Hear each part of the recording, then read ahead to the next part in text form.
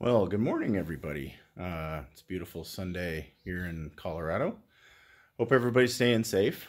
Uh, hope you guys are uh, not getting sick or anything, and uh, hopefully this whole uh, quarantine thing will be over soon. So, um, anyway, I've been uh, working on the car. my daughters and my son Xander have also been helping.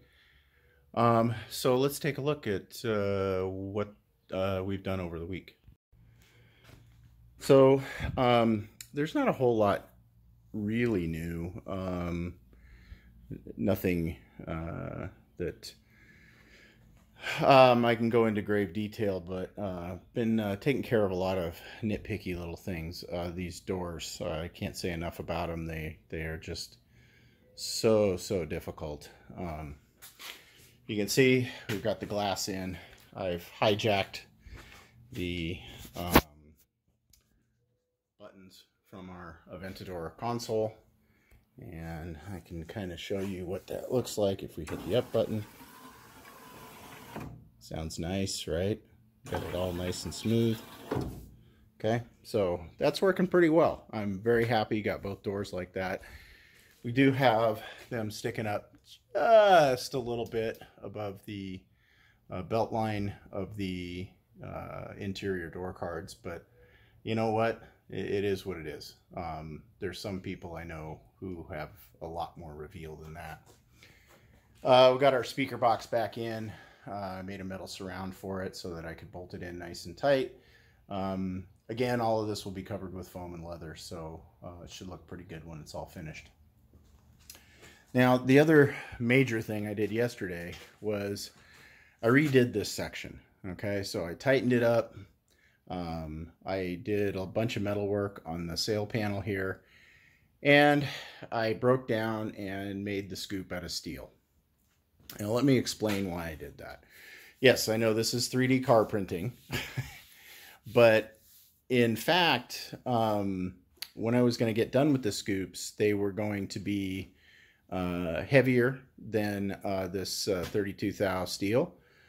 And I don't think that uh, I would have been able to do the carbon fiber without too much distortion. Uh, and so it, it, actually only took me a span of about an hour to fab this up.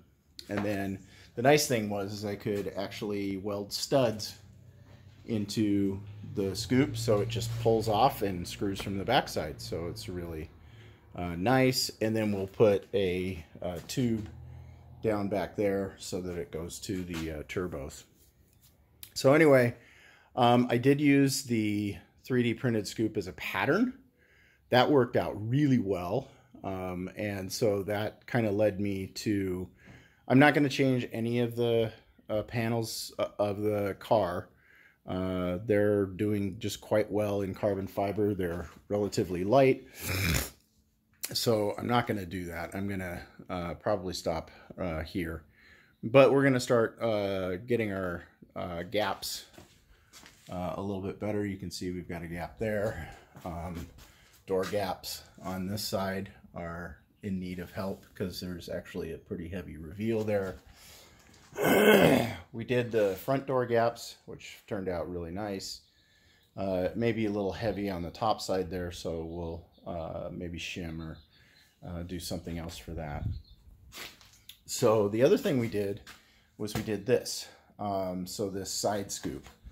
Um, it's bigger than the normal side scoop, but it doesn't exceed the edge of the car. So that should be able to pull in a lot of air for the radiators. So I'm pretty happy with the way these turned out. Again, I, I uh, was able to do these guys in uh, 32 thou steel and it, it took me literally uh, about an hour to put that together. So when it comes to flat and slightly curved surfaces, I think the steel does a great job. But when it comes to radically curved surfaces, the 3D prints are uh, encapsulated in carbon fiber. I think are the are the trick. So I think you got to mix it up, right? This is this is building a car. Um, obviously, you can't uh, 3D print the whole thing. Well, I can't in my garage. There are some companies who've uh, figured out how to do all of that. But if you're doing it as a hobbyist or in your garage, um, the steel is relatively inexpensive. Uh, it's easy to uh, work. And I did this all uh, with basically a crappy brake from Harbor Freight. No offense to Harbor Freight.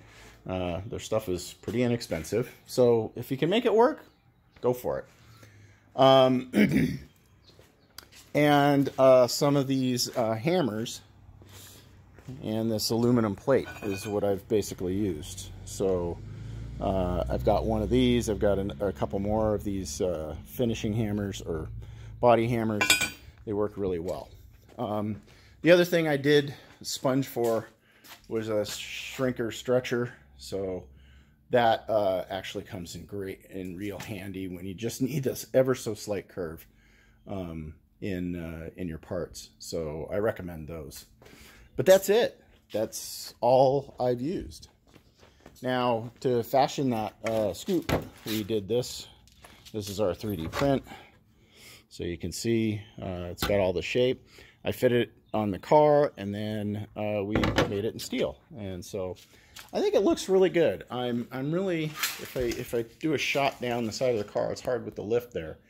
You can see I think it's starting to look pretty sweet. Um, I got to get the air system running and the engine running so I can get this thing out in the open and uh, do a video on the whole thing, drop it down. We can see the ride height and the stance and all that kind of stuff. Uh, I got a windshield, uh, which is uh, waiting to be put in, but I've got to take care of some of these uh, issues with uh, the carbon fiber where it's obviously had some issues. So I have kind of a con concave thing here. Now, in an earlier video, I told you what I did on the doors is I just didn't fill in big gaps with uh, Duraglass. Duraglass is a great product. It holds up. It's very strong. But in my case, what I did was I actually mixed uh, cut carbon fiber in with the Duraglass. And oh my God, it makes a really strong uh, edge. So it's uh, pretty hard to uh, damage that. So that's going pretty well. But, you know, time will tell. The next thing, again, as I said earlier, is we're going to do this door gap down here. So look for that.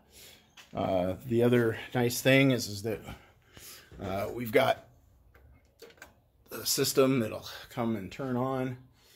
Um, we still have to uh, do the dash uh, in the colors we want. Right now it's set in blue, but we're going to do like the radio, which is in red. So, so stay tuned for that. So thanks again for watching, guys. Um, we're we're making good progress. Um, I want to hit the Rock and Roll Car Show, uh, which is uh, down at Bandimere Speedway here in Colorado. Uh, it's put on by KBPI 1079 uh, and uh, my friend uh, Willie B. And so hopefully we'll be again in the builders area. I'm I'm looking forward to that that was a lot of fun last year, and so it's it's really something for us to shoot for. And uh, I, if you are in Colorado or you're traveling over here, uh, I think it's uh, it's in late August. I don't know the exact date, but uh, if you can make it out, it's it's a lot of fun. I mean, you can drag your car up and down the strip, you can race your friends, uh, you can do a lot of really cool stuff. So we had like thousands of people come by the car last year, and uh, the kids were just amazing. So they were allowed to crawl around in the car and check it out, and it was pretty rough back then. So I think we'll be presenting a much uh, better build uh, this year. Hopefully, have it running. Maybe take it down the strip. Uh, probably not going to push it hard um, so that I don't leave parts on the uh, quarter mile. That would be bad. So anyway, if you haven't already, please subscribe. Uh, again, love your comments. Thank you for uh, watching and and uh, uh talking to me through that uh, venue. Uh, go to our Facebook page, 3D Car Printing, too, if you want to see some of the picture updates that we do um, in between. So have a great day. We'll talk to you soon. Bye.